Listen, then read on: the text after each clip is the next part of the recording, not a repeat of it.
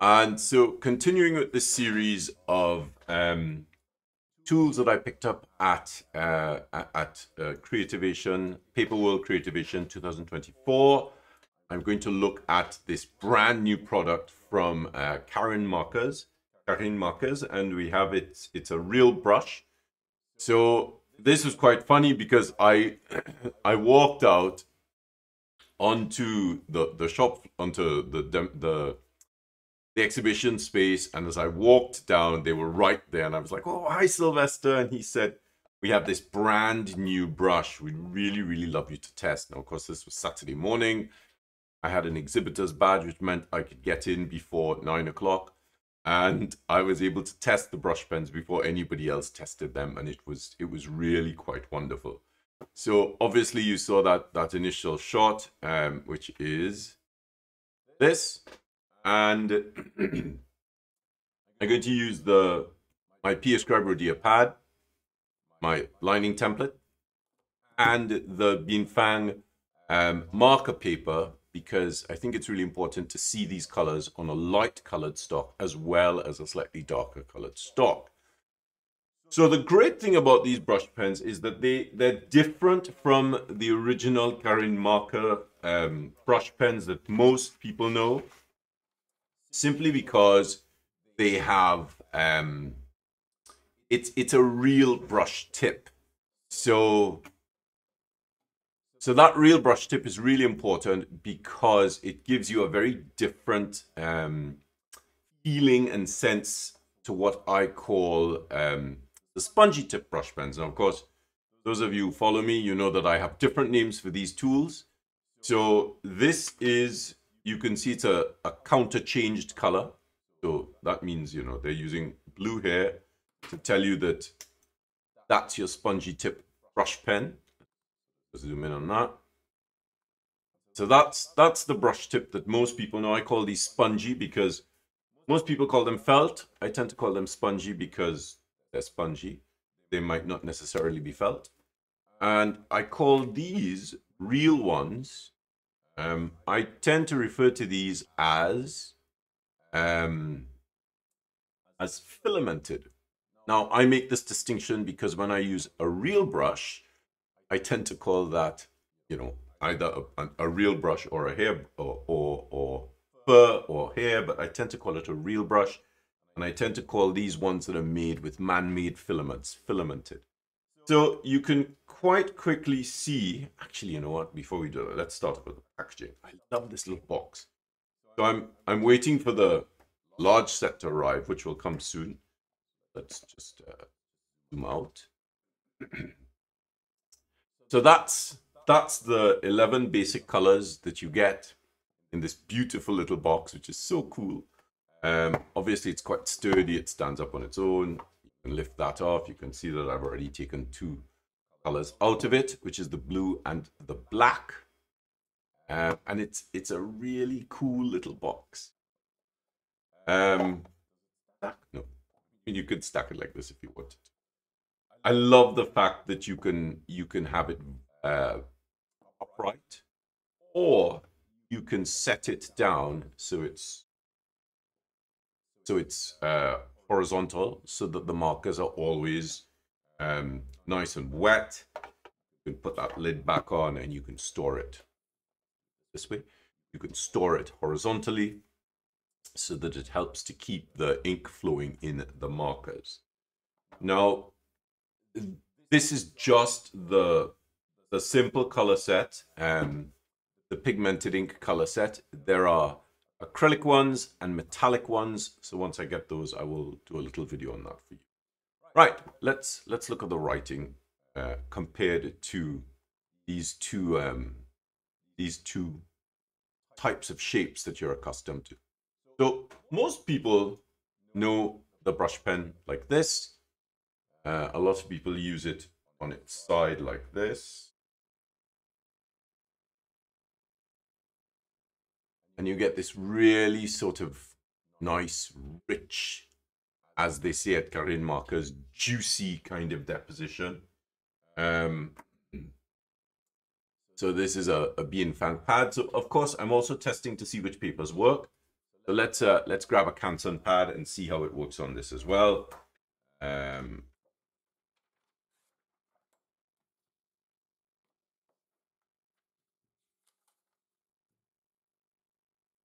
so some little pinpricks there from ruling up with the lining template. Ah, wrong one. But let's use the one that you're accustomed to seeing, which is this.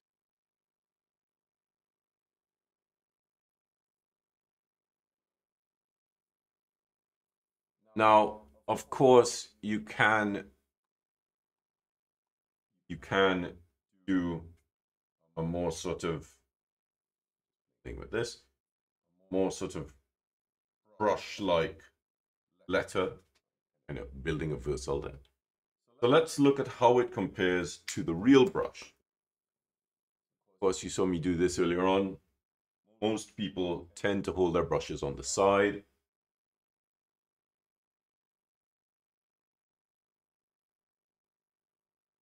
I tend to hold mine more vertically, so I get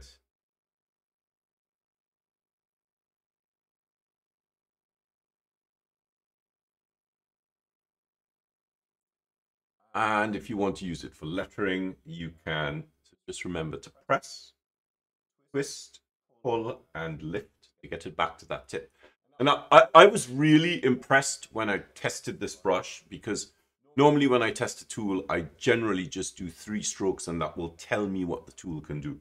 And that is one, press, twist, and pull, two, and so that tells me how fine I can write with this tool. so I know that I can get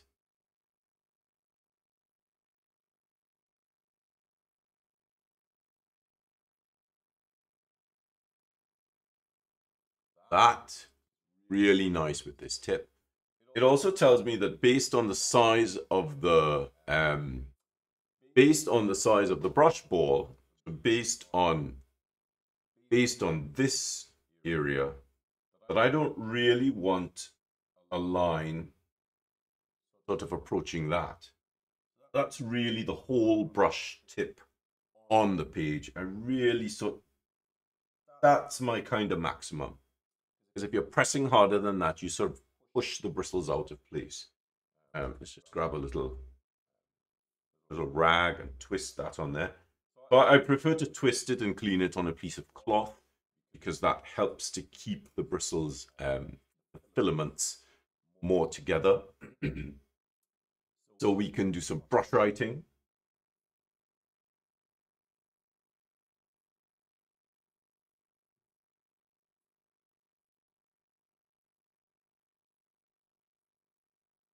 You really see the bristles working. Um, I keep going back to the cloth to just sort of twist it on that just to get it, uh, just to pull it back into place. We can, uh, and this this also tells us what size we can write at. So I really wouldn't want to try and work at this size. I, I can, so that's what that is. Just about 8 mil the lining template has markings on it for ruling. But I wouldn't want to work at that size. Now, this is a good size to work at. Work at. That? That is uh, 18 millimeters. So that's a nice size to work at with this tip. And of course, if you really wanted to work quite large,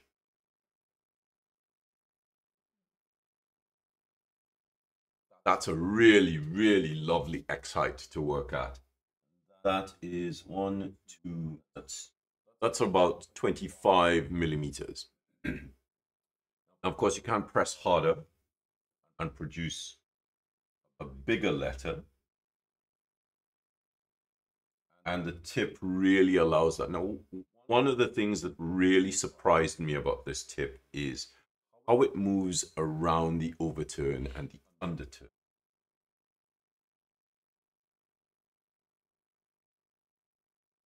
So what you're seeing is something that's really quite important. Now, most brush pens give you a little bit of trouble here. So what happens is as you, uh, sorry, as you come up, the bristles, they roll over and push.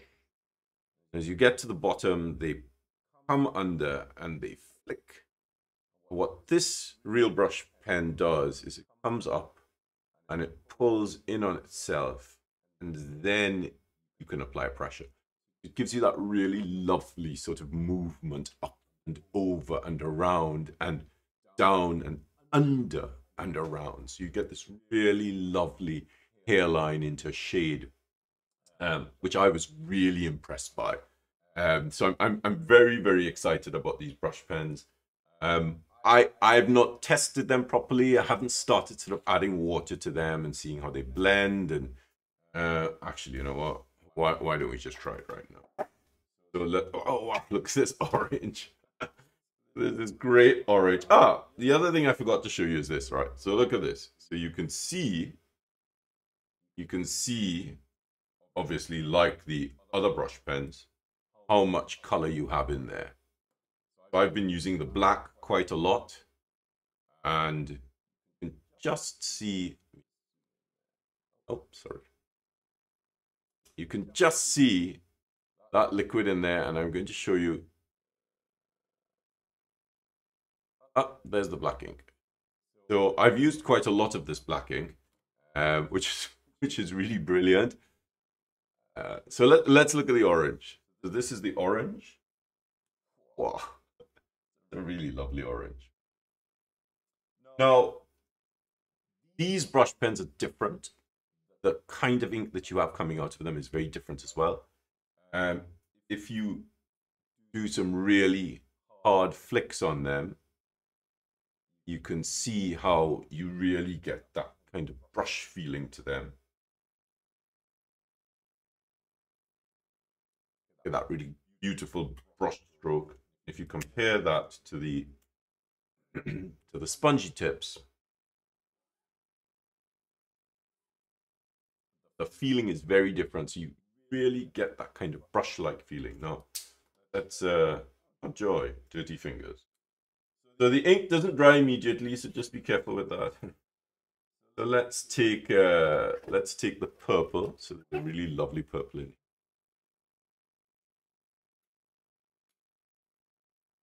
And let's apply it to tip.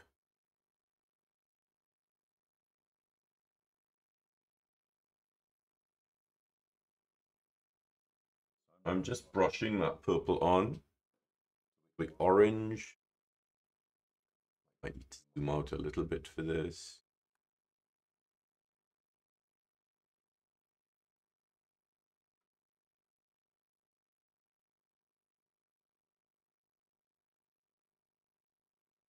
And you can see that's really sort of, that's really starting to, to bleed out very, sorry, I'm on camera, stay still, stay still. You can really see that really starting to bleed out very quickly.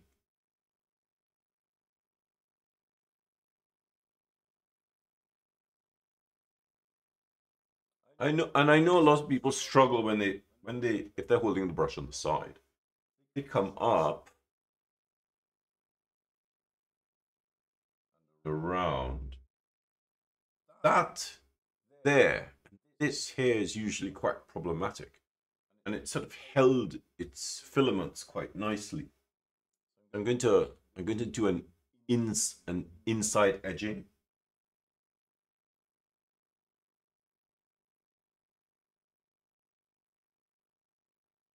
And the tip really holds itself quite nicely. Very exciting. Very nice, very nice. Yes, indeed. Lots of fun to be had. Um, so let's let me show you the colors in this basic set. So we have obviously this orange that you've seen. We have this purple, which clearly has some orange in it. uh, we have this beautiful blue, which I have on my fingers now. Brilliant. Just there. Um, They're two greens. That's nice. Nice bright green. And there is this darker green. Now, I sort of decided to do this without testing them myself, without, you know, checking to see what works and what doesn't work, because it's kind of nice to just do this as a demo and figure it out as it's going along. And this is the pink. Oh, that's nice. And this beautiful sort of aqua blue. Oh, look at that color. Uh, here is the red. What? And here is the brown. And here is the blender. They have a blender that allows you to blend two colors together. Obviously the tip gets a little bit dirty and then you can just you can just get rid of that color by running it through onto a piece of paper. Just remember, don't forget, press, press, twist, roll, tilt, lean, and pull. Pull all your brushes back to nice sharp point. So I hope that uh, that little play with these uh, new Karin um, real brush uh, uh, brush pens. I was going to say markers, but they're not markers. Um, starts to open up your understanding of uh, what Karin markers can do. So what the Karin marker brand is doing, um, and they've given us some really nice real brush pens. Of course, at the show, there's a full, there was a full set of them. There were tons of these colors. They were brilliant. Um, and you also had lots of other things that they had on, on, on show, which I, I actually have over there, which I will do a nice big demonstration on so that, you know, you get to see the range of products that they've come up with. And it's really quite amazing. A ton of them work on the PA Scribe black and gray pads. So they have these new sparkle gel pens and they have some more solid gel pens. So I'll wait until I get the, the, the big set so that we can go through that together. And then I'll show you how the other ones work on the black and the gray pad. So thanks so much. I hope you, I hope you enjoy this. Leave a comment below. Uh, let me know what you think about them. If you have any questions, please leave questions because the guys at Karin will always answer them. Um, you can tag them or tag me. And uh, obviously, if you leave a question or comment, I will see it. Um, and I can tag them if it's something a little bit uh, more, more technical about the ink and about how the filaments work. Ah, just one other thing. So I've been using the black quite a lot. And be really careful with how you're using these. Just so, did you see I just sort of pushed and pulled and twisted and I pulled that back together? to bring it back to a nice point. And you can see there is a, wow, that's great. So there was a stray hair that was sticking out of the brush and it's, um, I pressed and twisted and it's pulled back in to the main brush ball, which is brilliant. Now, I, I've been a little bit harsh with this this this particular one because I've been carrying this around with me.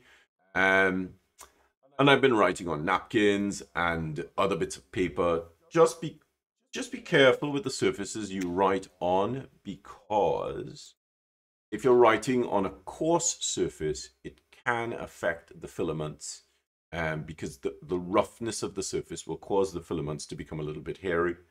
I mean, this is typical of any brush pen or any any brush that you're using. Uh, and it's typical for even um, even the spongy tip markers. So lots of manufacturers make um, marker pads, and the marker pads are smoother so that they don't corrode the tips of your real brushes uh, or your, your filamented brushes. Real brushes or any kind of spongy um, or felt tips that you're using.